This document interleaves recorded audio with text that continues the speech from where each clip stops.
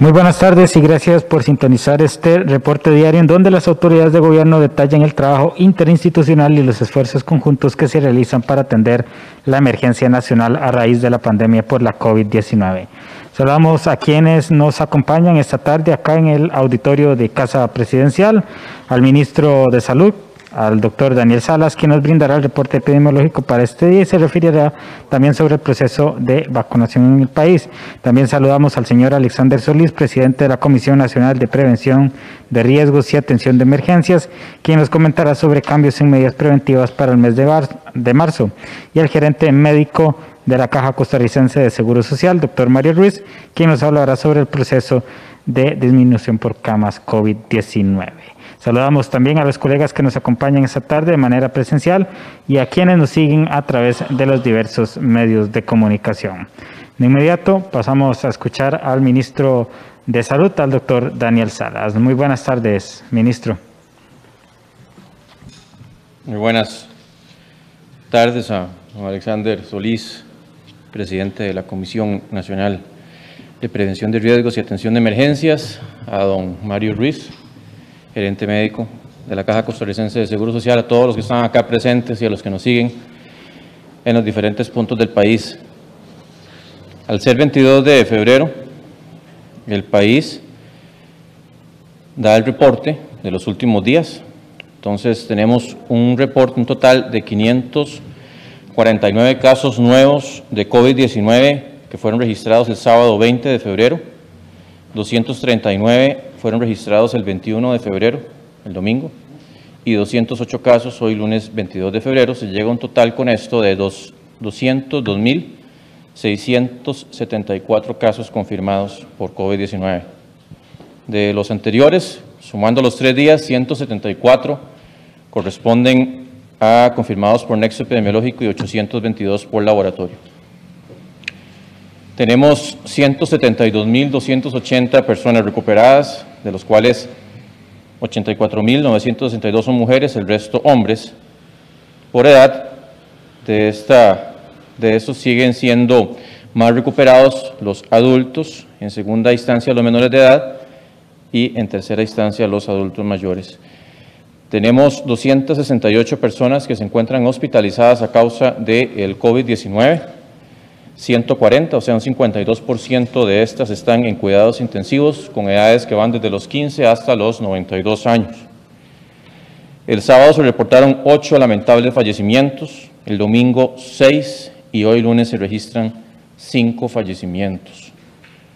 Con esto, el país llega a la suma de 2.782 personas fallecidas asociadas a COVID-19. Nuestro más sentido pésame a todas estas personas que han partido, las, personas que, los familiares, los amigos, los compañeros que han sufrido la partida de estos 2.782 personas en lo que va de la pandemia. Con esto llegamos a, o estamos actualmente con una letalidad de 1.4 Y es claro que los que más han fallecido son hombres. Tenemos 1.039 mujeres versus 1.743 hombres. También queríamos anunciar el día de hoy que siguiendo la recomendación de la Comisión Nacional de Vacunación, de Epidemiología y Vacunación, se está aprobando la obligatoriedad de la vacuna contra el COVID-19 a funcionarios del sector salud. Estamos hablando acá de la Caja Costarricense de Seguro Social, del Ministerio de Salud y de la red de servicios de atención directa en primera línea del Instituto Nacional de Seguros, además del sector privado. Esto obviamente, esta obligatoriedad se basará en la disponibilidad de la vacuna. Recordemos que las, el hecho de que esto se haga obligatorio, personal de salud tiene por fuerza que invadir un espacio personal a la hora de examinar, a la hora de hacer procedimientos, y el hecho de estar vacunado justamente cumple el juramento hipocrático que nos demanda, primero, no hacer daño a todos los funcionarios de salud. Así que esto va y se va a cumplir para el personal que atiende directa o indirectamente pacientes de COVID. Sabemos que estas personas también arriesgan a las personas que van a ser atendidas, pero también arriesgan su propia vida al estar en contacto múltiple con pacientes, con personas que vienen de diferentes partes del país. Esto va a permitir reactivación de los servicios de salud en general. Recordemos que muchos de los servicios de salud han sido interrumpidos, han sido pospuestos en medio de la pandemia y eso también se hace necesario. Y justamente se evita que estos, este personal sea una fuente de contagio para la sociedad como un todo. Es un deber ético, profesional, el hecho de vacunarnos contra el COVID-19 cuando así corresponda. Recordemos, esto va a ser verificado y cumplido por cada patrono. O sea, cada patrono está en obligación de darle seguimiento a esta obligatoriedad de tomar las medidas correspondientes de acuerdo con la legislación del país y la normativa institucional en el caso de que las personas funcionarias de salud no quieran vacunarse contra el COVID-19. También hoy vamos a don Alexander Solís, nos va a hablar de algunas medidas que vamos a tomar en marzo. Los momentos epidemiológicos que estamos viviendo permiten tomar ciertas medidas. Pero lo cierto es que no debemos malinterpretar que podamos flexibilizar o dar espacio para que algunas actividades que han tenido mayor restricción puedan hacerlo, no se debe malinterpretar con que la pandemia ya se acabó. Es muy digno felicitar todas las personas que han estado aplicando los diferentes protocolos, que ya el uso de la mascarilla lo hacen de la manera más responsable posible, que siguen tratando de evitar el rompimiento de las burbujas y todo lo que ya sabemos, el lavado de manos, todo lo demás. Y lo cierto es que tenemos que todavía bregar y transitar con estas medidas en gran parte o en buena parte del 2021, como ya lo hemos dicho, con el gran aliciente, con la gran esperanza que ya tenemos la vacuna y ya empezamos a vacunar y ahí vamos a la velocidad que nos permite la disponibilidad de la misma. Pero de ninguna forma entender que si hacemos un cambio en la restricción vehicular para permitir una mayor circulación, significa que ya tenemos que relajarnos y olvidarnos de los protocolos. Insistimos, todavía hay historias, hay experiencias en otros países en donde se les olvida de repente que hay pandemia, empiezan a haber multitudes, empiezan a haber conglomeraciones, empiezan a haber falta a los protocolos sanitarios y han tenido impactos importantes de resurgimiento de casos y de transmisiones. Entonces, aquí seguimos indicando la, eh, la necesidad de comportarnos en un momento histórico, una pandemia que sigue vigente y que si bien es cierto, como indicaba anteriormente, los números de transmisión, de hospitalización y de fallecimientos nos permiten tomar algunos ajustes en las medidas, tenemos que seguir y los insto que sigamos manteniendo nuestro cuidado y el cuidado que permite eh, que las demás personas a nuestro alrededor no vayan a sufrir los eh, impactos negativos de este virus, de esta pandemia. Muchas gracias. Muchísimas gracias a usted, señor ministro, y precisamente para referirse a esas medidas, escucharemos a continuación al presidente de la Comisión Nacional de Prevención de Riesgos y Atención de Emergencias, el señor Alexander Solís. Muy buenas tardes, don Alexander. Muchísimas gracias, muy buenas tardes. Buenas tardes, señor ministro de Salud, buenas tardes, señor gerente médico de la Caja Costarricense de Seguro Social y muy buenas tardes a quienes están participando tanto acá como siguiendo este, este espacio de información. Durante los diferentes momentos en que hemos tenido esta posibilidad de comunicarnos, hemos insistido desde múltiples instituciones, el señor presidente, y todas las personas que hemos tenido la posibilidad de conversar sobre, sobre estos temas, hemos insistido en la importancia que ha tenido la participación y la responsabilidad conjunta en la implementación de las medidas.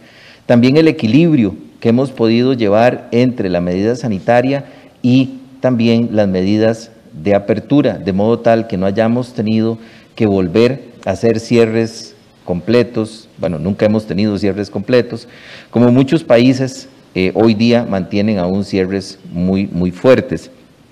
En este caso, yo quiero agradecer muy particularmente también el esfuerzo de las comunidades, de las personas, más de prácticamente tres cuartas partes de la población, para hablar en términos muy sencillos, cumplen las medidas de prevención y de protección. Y eso ha ayudado, junto a otros factores que ya las autoridades de salud han explicado, eh, que nos permiten tener una disminución en los casos, pero que tres cuartas partes de la población en las mediciones que hacemos cumplan las medidas de prevención, realmente dice que tenemos un compromiso fuerte desde las comunidades, desde las municipalidades, desde los comités municipales de emergencia y también desde las organizaciones y empresas privadas, así como las instituciones públicas. Muchísimas gracias a todas las personas que diariamente contribuyen para que podamos protegernos, cuidarnos entre nosotros.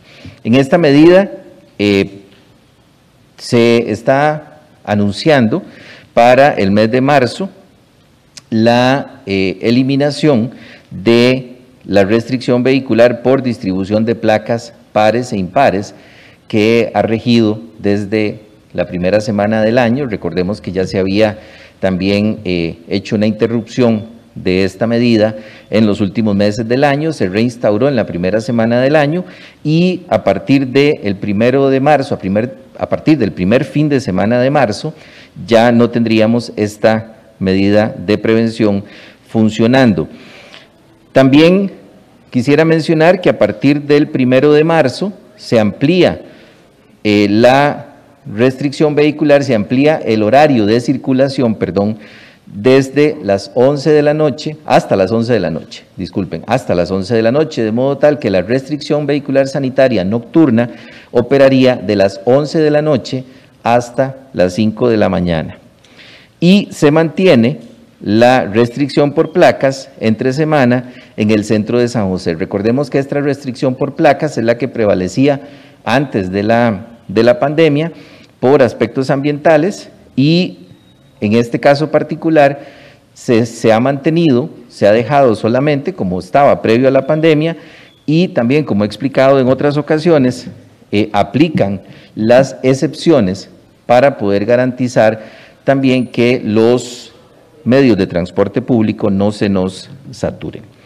Asimismo, se mantiene por un mes más el horario especial de playas, de apertura de playas, entre las 5 de la mañana y las 6 de la tarde. Este se va a mantener por el mes de marzo.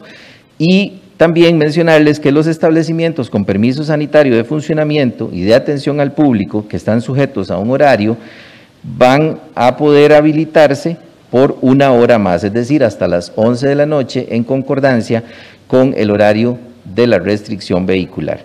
Estas serían las medidas que se están estableciendo para el mes de marzo. Eh, como mencionaba el señor ministro, pues un aspecto importantísimo es poder habilitar más espacios para poder garantizar una reactivación económica, una recuperación del empleo mayor y, por supuesto, no bajemos la guardia, mantengamos siempre todas las medidas de prevención que tan exitosamente hemos venido manteniendo, la aplicación de los protocolos, las medidas de seguridad e higiene personales. Muchísimas gracias. Muchísimas gracias a don Alexander Solís, presidente de la Comisión Nacional de Prevención de Riesgos y Atención de Emergencias. Para concluir este periodo de intervenciones, escucharemos a continuación al doctor Mario Ruiz, quien es el gerente médico de la Caja Costarricense de Seguro Social. Muy buenas tardes, Mario. Hola, buenas tardes, don Alex, don Daniel. Este, efectivamente, en este momento epidemiológico, luego de hacer un análisis este, en conjunto con epidemiólogos, con personal de la CAET, que es el Centro de Atención a Emergencias y Desastres de la Caja, este, y equipos de la gerencia médica, eh, se tomó la decisión de disminuir eh, paulatinamente las camas de pacientes COVID.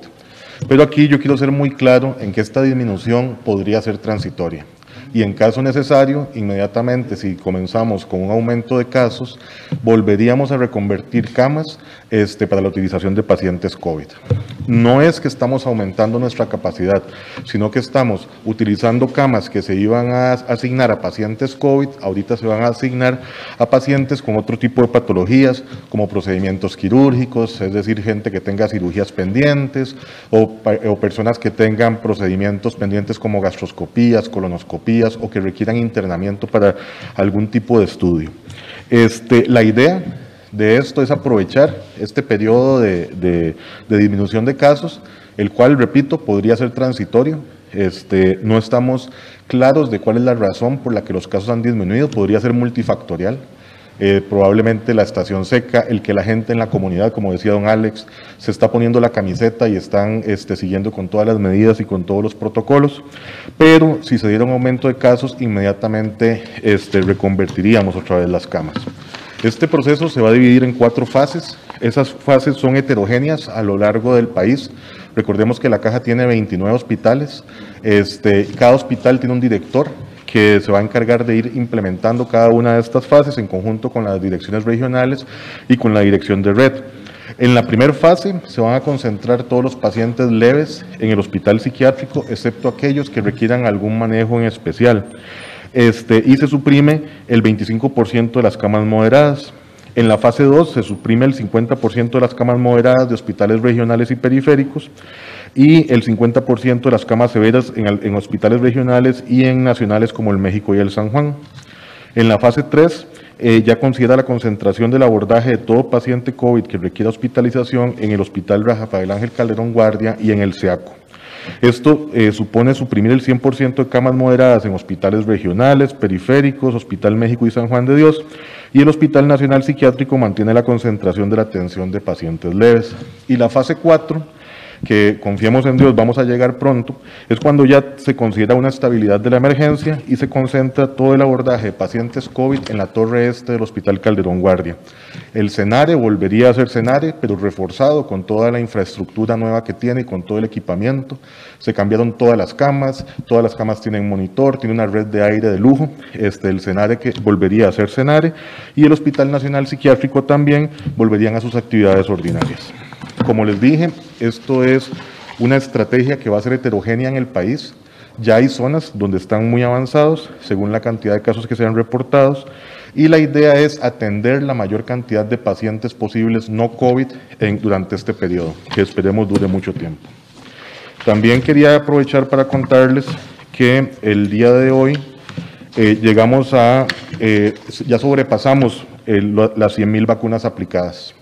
De hecho, este, los equipos vacunadores de la caja han aplicado 101.183 vacunas contra el COVID, este, alcanzando una tasa de 1,96 por cada 100 habitantes.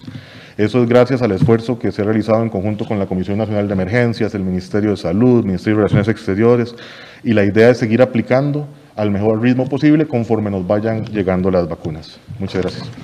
Muchísimas gracias al doctor Mario Ruiz. A continuación vamos a proceder con el periodo de consultas de los medios de comunicación. Colegas, un dato, por favor, ser bastante concretos, ya que los jerarcas deben eh, continuar con sus agendas respectivas el resto de la tarde. Eh, don Edgar, por favor, buenas tardes. Muy buenas tardes. Muy buenas tardes, señor ministro, don Alexander, don Mario. Buenas tardes a toda la audiencia. Señor ministro, Usted acaba de anunciar la obligatoriedad de la vacunación para el personal del sector salud. ¿Cuál es el porcentaje de personal salud que se está resistiendo en este momento que ustedes tienen detectado a ser vacunado y qué razones están alegando? Segunda consulta, señor ministro. Existe la sensación en el país de que va muy lento el proceso de vacunación Independientemente de la abrupta suspensión en los envíos de Pfizer, eh, se cree que podría ir más, más avanzada este, este proceso en este momento. ¿Cuál es la población meta y cuál es el plazo meta que ustedes se fijan para abarcar la mayor cantidad de ciudadanos con este proceso de vacunación eh, que ha empezado hace dos meses, señor ministro? Muchísimas gracias, eh, don Edgar. Habla don Daniel y después eh, don Mario podría aportar la respuesta. Sí, con esto, don Edgar, gracias por sus dos preguntas. Eh, personal del sector salud, la realidad que se ha negado a vacunar eh, representa un porcentaje muy, muy em, bajo, muy bajo. La gran mayoría del personal de salud está ávido, está deseoso de aplicarse la vacuna y así lo han hecho cuando les ha correspondido y todavía pues falta otro porcentaje. Sin embargo, como hablábamos anteriormente, es un deber ético y profesional, y así se ha hecho incluso con las vacunas de influenza en el pasado, porque es casi que cuando yo me pongo la mascarilla, yo entro con un paciente, yo estoy protegiendo a ese paciente cuando yo uso la mascarilla, igual es al ponerme la vacuna, no hay nada diferente al respecto. Entonces, por eso es que se, considera desde la Comisión Nacional de Vacunación ese criterio de obligatoriedad dentro del deber profesional, ético, de incluso laboral, que priva en este caso. Con respecto al porcentaje, pues tal vez el doctor Ruiz pueda referirse exactamente, pero sí es un porcentaje muy reducido eh, los que se han negado. Y con respecto a lo que usted me indica, la lentitud del proceso de vacunación, eh, lentitud con respecto a qué. Por eso yo les decía que tenemos que ser muy realistas en las expectativas. Costa Rica está acostumbrado a vacunar en un mes y medio un millón y trescientas mil personas con la vacuna de influenza, pero es un escenario muy diferente donde la vacuna de influenza ya su capacidad de producción está completamente establecida, las cuotas que solicitan los diferentes países también están establecidas a lo largo del tiempo y hay cantidad de vacuna. En este momento, recordemos, o sea, lo que estamos vacunando es lo que podemos siempre garantizando que el funcionario o la persona que se pone la primera dosis tenga acceso a la segunda para que no se eche a perder ese esfuerzo de la primera. Sería un un verdadero mal este, gasto de fondos públicos dejar una persona a medio vacunar por no garantizar la segunda, sabiendo que la inmunidad puede aumentar desde un 50 hasta un 95%. Entonces en eso tenemos que garantizar esa segunda dosis. Siempre referimos a las expectativas de que ya empiecen a sumarse otras vacunas en el primer semestre. Ya con AstraZeneca nos han dicho, ¿verdad?, que pues en los siguientes ya posiblemente poquitos meses podamos tener acceso a la vacuna de ellos. COVAX todavía está en negociaciones y en realidad pues todavía puede haber alguna expectativa de que en algún momento Pfizer acelere la cantidad, o más bien aumente la cantidad de envíos de vacunas que nos hace, no tanto los, la frecuencia de envíos, sino la cantidad de vacunas por envío. Pero eso todavía está supeditado pues, a muchas variables y, en fin, estamos con esas expectativas de poder, lo hemos dicho todo, en todo momento, la vacunación se va a llevar a cabo en el 2021. Y por eso es que aquí correr, o sea, yo, hemos, lo hemos dicho, nosotros podemos vacunar más de 300 mil personas por semana pero estamos en este momento completamente supeditados a la cantidad, a la disponibilidad de vacuna que al final llega de acuerdo a lo que han establecido las compañías farmacéuticas que están atendiendo a todos los países. Todos los países están en lo mismo. A mí me llaman eh, ministros de otros lugares que cómo hacen para conseguir vacuna porque no han logrado conseguir hasta el momento. O sea, todos los países están en esta carrera para lograr conseguir vacuna en algunos casos o pues alcanzar la inmunidad del rebaño lo más antes posible, pero tenemos que entender que eso es un proceso muy diferente en medio de una situación totalmente anómala como lo es una pandemia. Don Daniel, ¿para cuándo usted estima o tienen ustedes estimados en la Comisión Nacional de Vacunación que el país alcance lo que se denomina inmunidad de rebaño en cuanto a este proceso? Como yo le indicaba, don Edgar, eh, nosotros estamos aquí manejando diferentes variables. Justamente lo que le indiqué, por ejemplo, la posibilidad de que Pfizer eventualmente, si en algún momento se pudiera, aumentar la cantidad de dosis que envía por semana.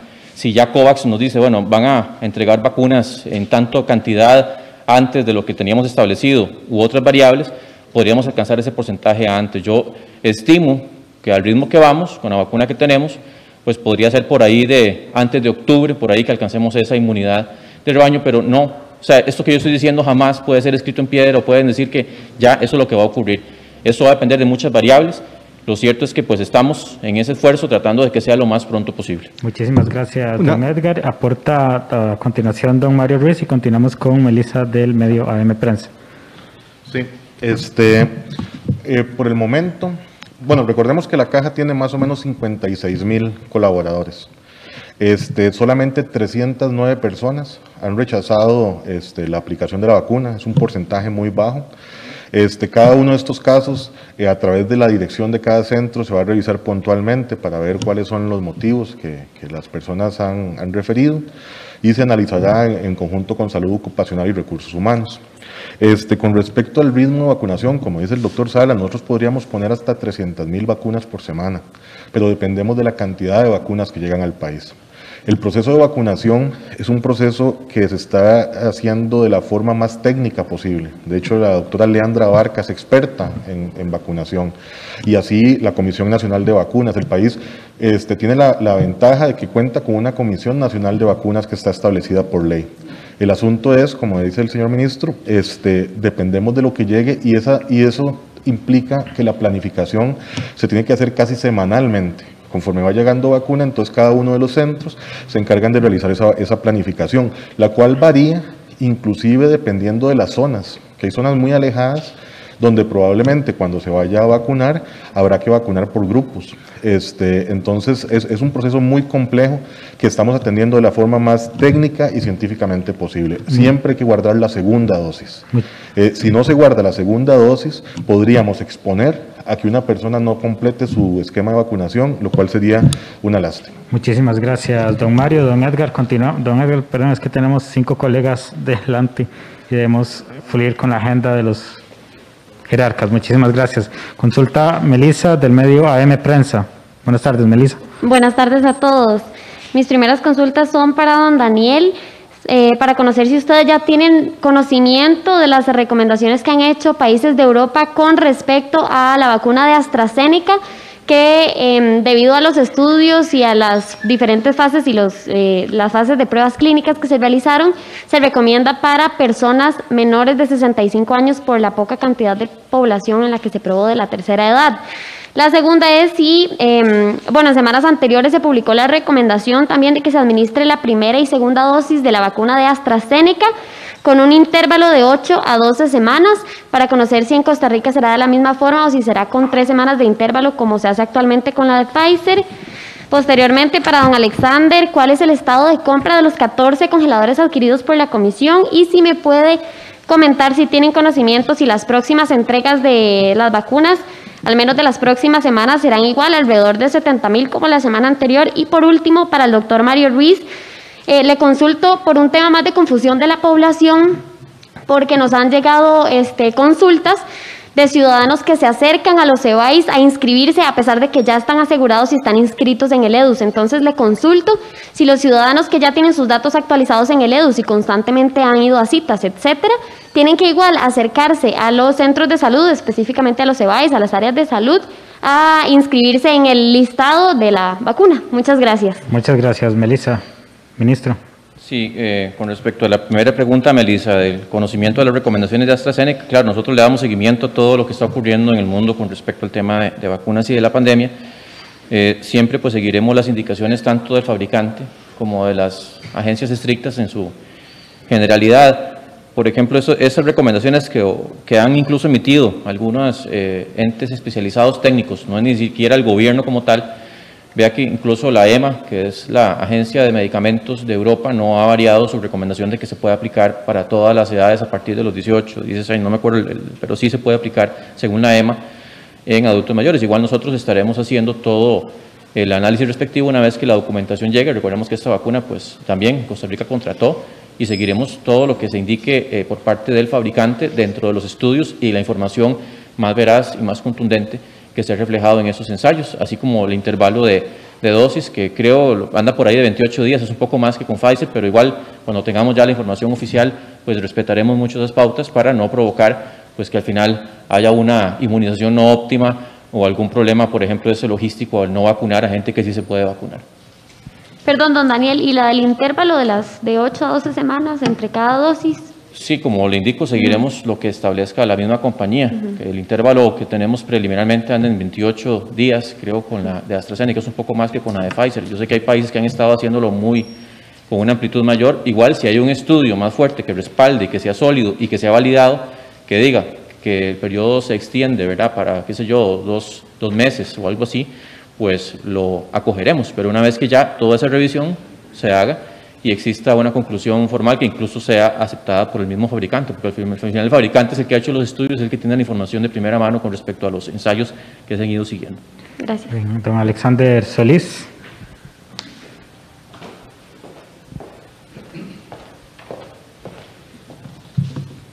Gracias, Melissa. Las dos preguntas que usted me hace en relación con los congeladores estarían ya instalados de acuerdo con el compromiso de la empresa y la solicitud que nos han hecho para la fecha de 10 de marzo. Llegarían al país el 3 y el cartel de licitación habla de 7 días para que estén debidamente instalados según los términos de referencia, lo cual permitiría ya tener regionalizados estos, estos puntos de almacenamiento y optimizar el proceso que en este momento se desarrolla.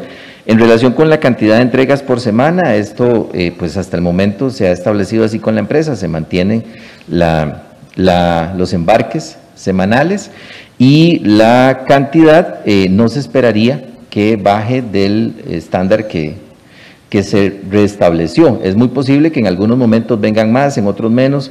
Eh, eso depende mucho también de la capacidad de producción y de las condiciones del embarque. Listo. Gracias. Muchísimas gracias, don Alex. Doctor Mario Ruiz, a continuación.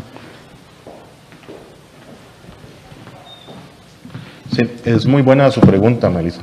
Este, si hay personas que utilizan regularmente los servicios de la caja este, y tienen el mismo número de teléfono que han mantenido siempre, no es necesario que este, vayan a ningún centro de salud a actualizar los datos.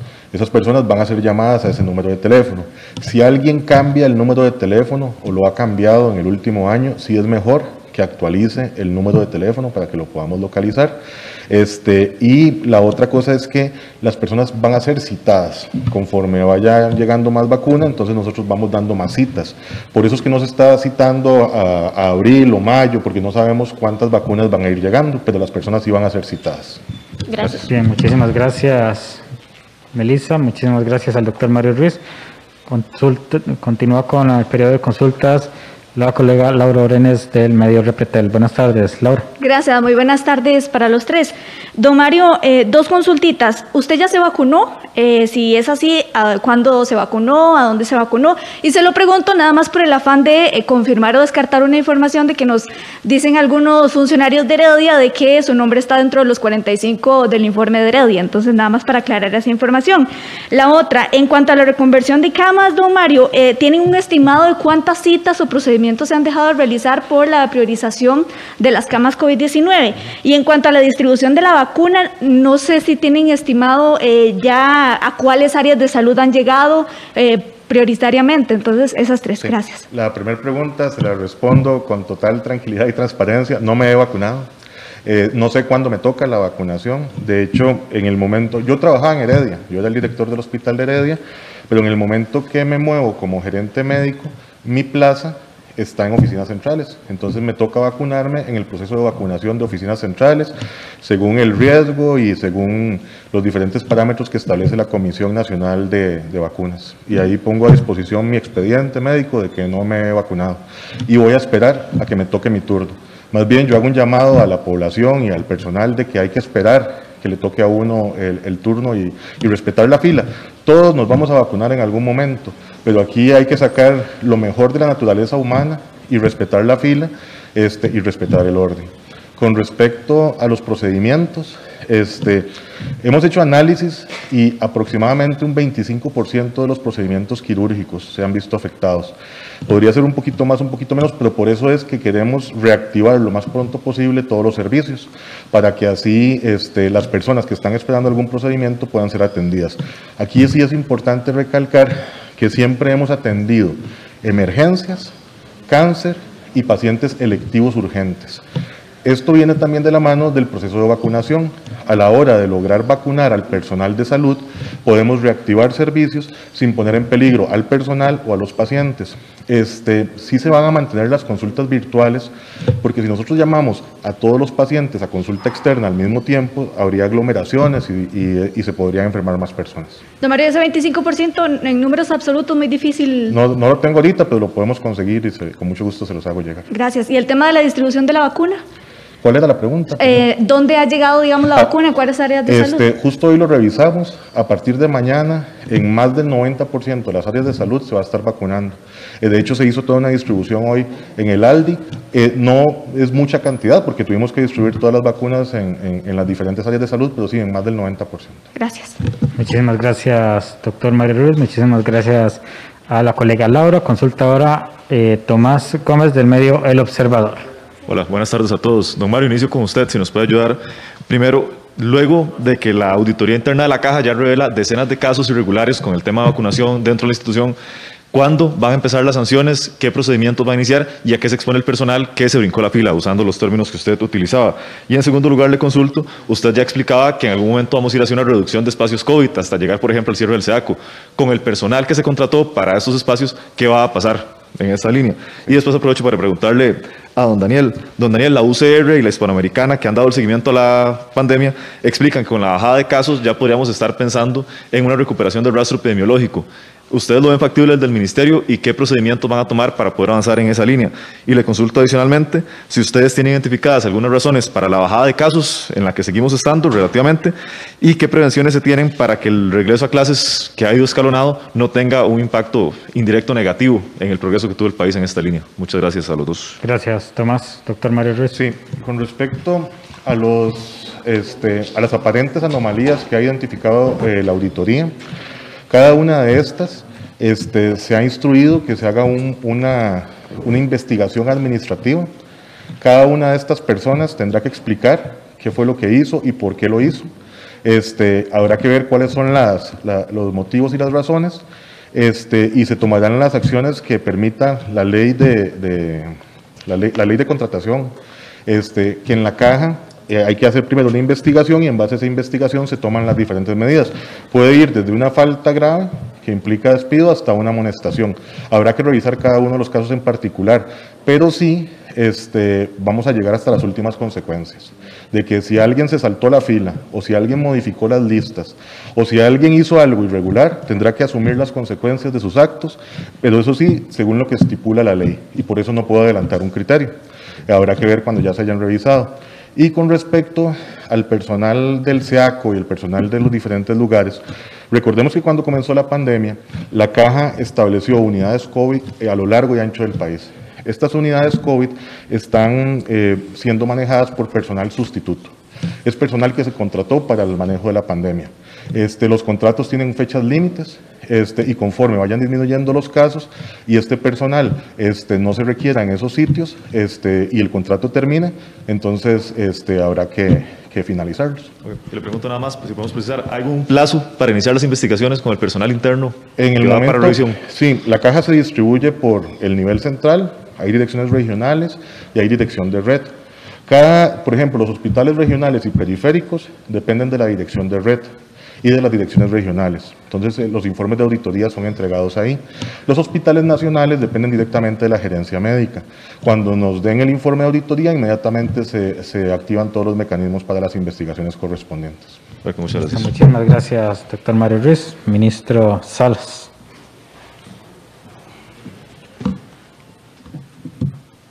Sí, muchas gracias, Tomás, por sus preguntas. Respecto a la posibilidad de recuperar el rastreo epidemiológico es importante indicar. Nosotros no hemos dejado de tratar de, tener pues, la información más completa posible, de tener todos los casos positivos, todo lo que se va rastreando. Es cierto que en un momento cuando hay transmisión comunitaria, que no es que tampoco ya la transmisión comunitaria se acabó. O sea, en este momento seguimos con transmisión comunitaria, los casos han disminuido pero el virus anda por todo el país, eso, y además internacionalmente, entonces también eso hace complicado el escenario de tener un 100% de trazabilidad, como lo, también lo tuvimos en un inicio, justamente porque en un inicio no, no habían cadenas de transmisión. En estos momentos siguen habiendo cadenas de transmisión, siguen habiendo brotes, eh, eventualmente por muchas partes, y claro que el trabajo de investigación de cada brote, de cada caso, se sigue haciendo, así que no es que tampoco vamos a lograr tener el seguimiento, saber por dónde está el virus, dónde se está transmitiendo. eso se sigue haciendo como se ha tratado de hacer en todo momento. Claro que cuando habían una plétora, una cantidad mucho mayor de casos es mucho más difícil, pero sí se sigue haciendo ese esfuerzo por tener la trazabilidad mayor posible. Eh, con respecto al por qué es que han disminuido los casos, en realidad también pues vemos esto eh, no solamente aislado, en realidad hay una tendencia mundial a la disminución de los casos. En Costa Rica yo diría, y siempre lo, mantengo, hay y se nota en las visitas de campo que se hacen, aquí la, comisión, el, don Alex eh, no, me, no me deja mentir, que ellos han hecho un trabajo muy interesante, muy bueno, de ir a ver cómo se está cumpliendo los protocolos en campo. Y se ha visto en realidad que una gran mayoría de los comercios, de la población, está atento a cumplir protocolos. Eso sin lugar a dudas sigue siendo uno de los factores de éxito de que no tengamos un aumento sostenido de casos el hecho de que ya hay menos cantidad de personas susceptibles, o sea, el virus ya ha circulado por 11 meses, ya hay mucha gente que ha estado en contacto con el virus, ni siquiera tal vez se han dado cuenta, han sido ni siquiera catalogados como casos, ¿verdad? Sino que fueron personas asintomáticas que nunca se, se lograron detectar, o bien personas incluso sintomáticas que no se lograron detectar, porque en eso siempre hay un porcentaje de personas, ¿verdad?, que no se logra detectar. Posiblemente tendremos más de un 30% de personas que ya no son susceptibles porque han entrado en contacto con el virus. Y si esto lo consideramos también dentro de lugares en las grandes urbes, ¿verdad?, donde hay una densidad poblacional mayor, pues eso también tiene que estar colaborando de alguna u otra forma a que haya menos casos. También el hecho de la estación seca, sabemos que la gente se esparce más, hay más calor, entonces la gente abre más las ventanas, se ventilan más los lugares, eso también ayuda mucho, ¿verdad? Que haya pues actividades más al aire libre y que eso también eh, tira la curva hacia abajo. Eh, pero en realidad, pues aquí podríamos hablar hasta de la humedad, ¿verdad? No hay lluvias, la humedad puede jugar un papel importante, la gente se asolea un poquito más, la vitamina D tiene un factor protector en el sistema inmunológico, en las vías respiratorias, así que hay muchos factores que podrían estar incidiendo, pero esos son algunos de los que hemos considerado. Y con respecto al regreso a clases impacto, yo creo que en esto, pues justamente hemos sido sumamente rigurosos en lo que ha sido la aplicación de los protocolos, ¿verdad? el tener un protocolo específico para los centros educativos, donde ha habido una preevaluación, por ejemplo, por parte del MEP de cuáles sitios pueden cumplir, cuáles no, el seguimiento, la instrucción que se le ha dado a los profesores, el uso de las mascarillas, importantísimo en los estudiantes, en, el personal, ¿verdad? Eso es un factor clave para que no hayan más casos. Todo eso al final va sumando, o sea, eso, va sumando y también que hemos considerado incluso el entorno, no solamente el centro educativo, sino es lo que pasa después, ¿verdad? Lo que pasa antes de la buceta, todo eso hemos estado haciendo un trabajo de inspección y de verificación de cumplimiento de protocolos muy fuerte. Entonces, en realidad, claro que puede haber un eventual impacto, sin embargo, recordemos, muchos de los niños más bien estaban en las casas jugando con otros amiguitos, sin supervisión, en los centros educativos tienen supervisión, tienen cumplimiento de protocolos, entonces hasta desde ese punto de vista se puede considerar como algo positivo de tener un ambiente con supervisión a tenerlos en realidad en las en los, eh, urbanizaciones, en los veranos, en los barrios jugando por donde sea con otros chiquitos que no necesariamente se están vigilando si están cumpliendo con protocolos. muchísimas gracias. doctor Salos. Muchísimas gracias, Tomás. Culminamos este periodo de consultas presenciales con Marco González del Medio Extra. Buenas tardes, Marco. Buenas tardes. Eh, don Daniel, eh, para usted tengo varias consultas. Le quería consultar a qué se expone un funcionario o qué se va a exponer un funcionario que después del criterio se rehúse a aplicarse la dosis, a qué se podría exponer, eh, tomando en cuenta que son unos 374, nos están confirmando hace poco.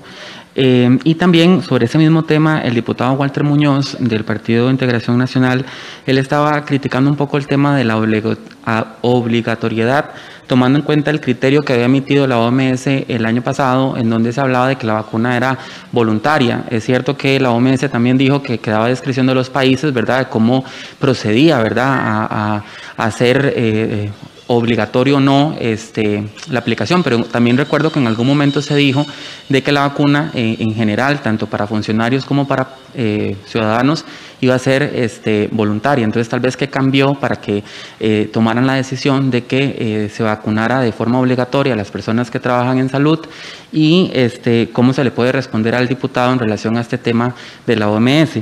Lo otro que le quería consultar, este, don, don Daniel, Francia está recomendando eh, para personas que eh, ya han tenido coronavirus, eh, solamente una aplicación, una, una dosis, eh, no las dos dosis, eh, tomando en cuenta que de una otra forma el cuerpo pues ya está de una otra forma inmunizado por lo menos por un tiempo. Yo no sé qué posición tiene el Ministerio de Salud de Costa Rica ante esa recomendación, incluso ya es una instrucción que giró el gobierno de Francia. Y también en Guatemala estuvieron hablando sobre el tema de eh, una norma para que las personas firmaran a las autoridades de salud eh, donde se libra el consentimiento y exime a las autoridades si eh, hay reacciones adversas a las, a las vacunas este, que sufran los ciudadanos, tomando en cuenta ahora que estamos en el proceso de vacunación ya de la ciudadanía de, del segundo, segundo grupo, mayores de 58 años, tal vez que se le puede decir a la gente, ellos tienen que firmar algo, qué pasa si, si efectivamente hay una reacción adversa, se hace cargo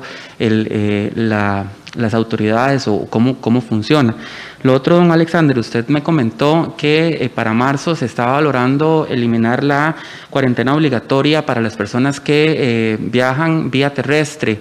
Eh, recordemos que en Costa Rica, si yo salgo vía aérea, puedo entrar y salir como quiera y no tengo ningún problema, pero era en detrimento de la gente que este, viajaban vía terrestre, incluso la comunidad Nicaragua, de ticos en Nicaragua estaban alegando que era una medida discriminatoria para ellos porque no podían viajar en su propio carro, que es mucho más seguro este, que ir a coger un, un avión hasta El Salvador porque no hay vuelos directos y luego un avión hasta Costa Rica y luego regresarse para eh, obviar la, cuarentena obligatoria. Entonces quería saber qué pasó con ese tema. Y por último, para don Mario, quería saber, eh, Cereo sacó ayer una información sobre eh, el caso del hospital de Nicoya, de los 15 funcionarios que la caja vacunó sin registro. Quería saber cómo hace investigación interna, si ya tienen responsables, si ya tienen identificado a las personas, si han suspendido, qué medidas administrativas se han tomado sobre ese caso y cómo se va a recuperar la plata de esas vacunas, porque al fin y al cabo es plata de los costarricenses. Gracias. Muchas gracias, Marco. Doctor Salas. Sí, gracias, Marco. Bueno, ya lo, el doctor Mario Ruiz en realidad también eh, explicó un poco de qué, la, qué se expone un funcionario por no vacunarse. Ya dijimos que en cada institución será el patrón el obligado de poner los procedimientos respectivos disciplinarios y que eso puede ir dependiendo de las características de la, negativa, de la negativa desde una sanción como una suspensión, una amonestación, incluso puede ser el despido. O sea, eso va a depender mucho de las condiciones en que se haya dado esa negativa a vacunarse, pero cada caso se analizará conforme se vaya presentando. Como indicábamos anteriormente, por dicha, es un porcentaje muy menor, ¿verdad? Muy, muy, muy menor de verdad con respecto. a la mayoría de los funcionarios están convencidos, apropiados de su juramento hipocrático, son sumamente profesionales a la hora de lidiar con el paciente y aplicarse la vacuna y eso es un aliciente enorme que tenemos dentro de nuestro país porque tenemos una cultura muy este, eh, inclinada hacia la vacunación. Con respecto a lo que usted indicaba de qué cambió, ¿no? Eh, eh, más bien esto nunca ha cambiado. O sea, lo, que ha sido, por ejemplo, influenza desde el 2016, creo que fue, se puso obligatorio.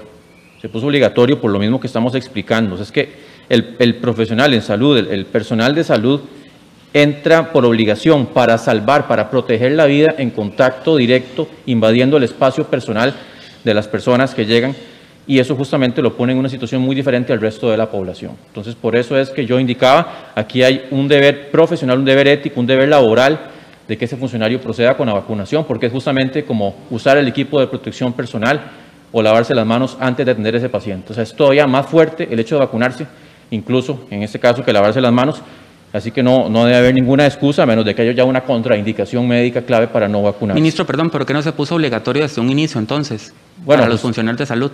Sí, como le digo, esto es para seguir la tradición que se viene con influenza y en este momento se está reafirmando que tal vez de tanta cosa, ¿verdad? Porque todo esto ha requerido de mucho análisis, de muchas variantes y muchas cosas. Eso se quedó en el tintero y pues todavía estamos a tiempo porque justamente estamos todavía eh, temprano desde que se inició la vacunación. Eh, con respecto a lo que usted me indica de Francia, de solo una dosis, nosotros como indicaba anteriormente vamos a mantener nuestra postura de apegarnos a lo que establecen las agencias estrictas y también sobre todo las compañías farmacéuticas que son las dueñas de su propia información, ellas son las que diseñan la vacuna, las que la han puesto a prueba. Hemos visto en realidad que la inmunidad con una dosis no es la suficiente que queremos para alcanzar la inmunidad de rebaño, entonces en eso pues mantendremos, a menos de que ya exista una vacuna que desde su concepción o que haya estudios ajustados suficientemente fuertes, estadísticamente significativos, que digan que con una sola dosis es suficiente para generar un porcentaje alto de eh, eh, inmunidad. ¿verdad? Entonces en eso pues estaremos siempre al tanto de las indicaciones, pero mientras estas no varíen, solamente porque un país tome una decisión no significa que ya tengamos nosotros que hacerlo. Y eh, con respecto a las reacciones adversas, bueno, también indicar de la población, de, ya el doctor Ruiz acaba de decir, superamos las 100 mil eh, vacunas aplicadas y por dicha, en realidad, los reportes que hemos tenido son pocos, son escasos, claro que sí existen, claro que sí se dan y la mayoría son transitorios, son leves, no duran más de unas horas o al cabo un día, pero son leves en general. Y en el caso de que haya pues alguna reacción un poco ya más moderada o adversa severa, ya existen protocolos de seguimiento. Recordemos que también dentro de toda la variabilidad de la población puede ser que algún evento que se dé y que pueda ser considerado inicialmente como provocado por la vacuna, no fue provocado por la vacuna. Hay muchas también cosas que pueden entrar en juego para producir un evento adverso que se puede inicialmente atribuir a la vacuna. Entonces, en eso también hay un grupo especializado, profesional, que ha tenido todo un entrenamiento por parte de la OMS que tienen protocolos muy, muy fuertes, muy robustos para seguir todas esas investigaciones. Y en el momento que se determine que hay que ejecutar alguna acción, pues claro que el Estado se hace responsable en ese caso. Muchísimas gracias, doctor Salas. Continuamos con el señor Alexander Solís, presidente de la Comisión Nacional de Riesgos. buenas tardes, Marco. Buenas tardes. Eh, bueno, sí, usted me había hecho esa, esa pregunta a inicios de febrero. Eh, durante las, las medidas para el mes de marzo, esta medida se va, se va a mantener, el, el ingreso eh, por vía terrestre para costarricenses y residentes tiene una orden de aislamiento al ingreso. Eh, son temas que son definidos desde el ámbito sanitario por la entidad reguladora, pero sí se mantiene. ¿Qué criterios técnicos tienen para mantenerla, don Alexander? Uy, yo, yo le pediría al doctor Salas que me... De la, el, mantenimiento de la, eh, el ingreso costarricenses con orden sanitaria por fronteras terrestres. O sea, porque es diferente, porque una persona que entra por vía aérea no tiene que hacer cuarentena obligatoria y sí tiene que hacer cuarentena obligatoria a una persona que entra por vía terrestre. La comunidad de ticos en Nicaragua está anunciando el, tema porque no pueden venir a Costa Rica sin hacer una cuarentena obligatoria cuando vienen aquí los 14 días. Y porque si entra la gente por avión, por decirlo así, como Pedro por su casa, sin necesidad de esa cuarentena.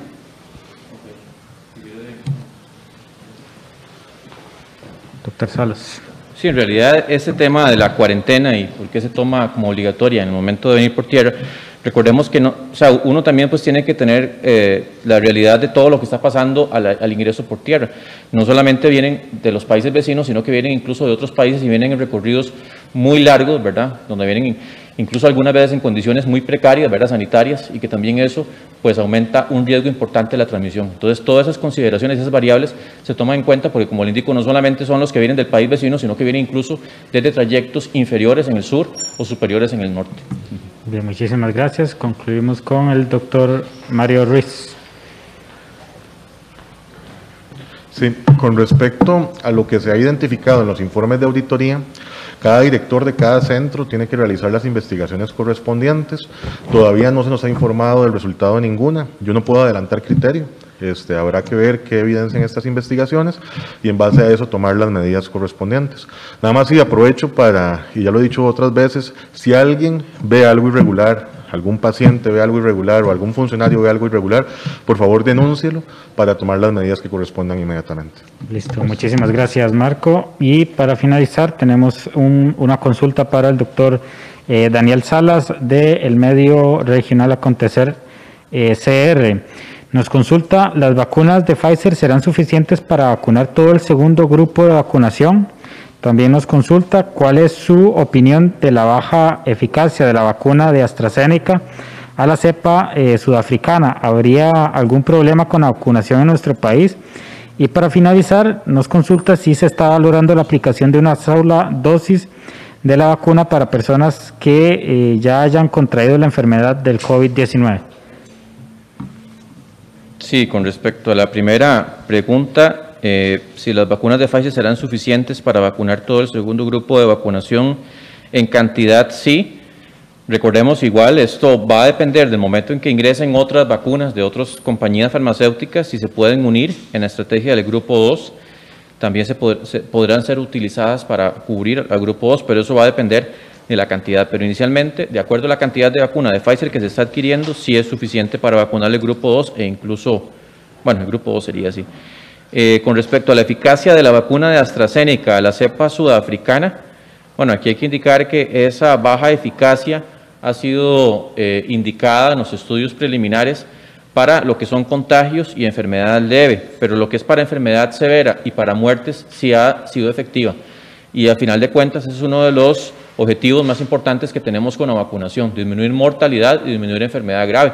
Entonces, claro que eso pues no es que no deja de preocupar, si queremos también evitar contagios, pero desde ese objetivo final que tenemos, sigue siendo una vacuna que hasta el momento pues arroja esa información, que para enfermedad grave y mortalidad sí ayuda a disminuir contra la cepa africana. Igual en este momento no tenemos la cepa africana detectada en nuestro territorio, aunque claro que esto puede ocurrir en cualquier momento, lo hemos dicho, puede ocurrir de cualquier otro país, porque el virus es su evolución natural, seguir mutando, seguir adquiriendo variantes genéticas que algunas van a representar alguna posibilidad de transmitirse más fácilmente o eventualmente incluso de una mayor letalidad. Este, y con respecto a la aplicación de una sola dosis de la vacuna para personas que ya hayan contraído la enfermedad del COVID-19. Esa es información que la Comisión Nacional de Vacunación está, este, digamos, analizando constantemente. Las reuniones han sido ¿verdad? muy, muy constantes, muy frecuentes, posiblemente como nunca antes en medio de esta pandemia de la Comisión de Vacunas, y es una información justamente que les compete a ellos analizar, así que no se descarta eventualmente, pero seguimos al tanto de los estudios y de la información, como yo indicaba anteriormente, estudios sólidos ya respaldados y no cualquier eh, noticia, ¿verdad? Que puede ser que no tenga, como les, decía anteriormente, una rigurosidad científica, una validación por pares, algo que ya nos diga que es un estudio que pone sobre la mesa una evidencia suficientemente fuerte para tomar una decisión de ese calibre. Muchísimas gracias al doctor Salas. De esta manera estamos dando por concluida esta conferencia de prensa de este lunes. Agradecemos al ministro de Salud, al doctor Daniel Salas. También agradecemos al señor Alexander Solís, presidente de la Comisión Nacional de Prevención de Riesgos y Atención de Emergencias, y al gerente médico de la Caja Costarricense de Seguro Social, doctor Mario Ruiz, por habernos acompañado en esta ah, conferencia de prensa, así como los ah, colegas y a quienes nos siguieron a través de los diversos medios. Y antes de concluir, recordarles que para consultar las medidas eh, que recientemente fueron anunciadas, pueden consultar el medio presidencia.geo.cr barra inclinada alertas. A todos y todas muy buenas tardes.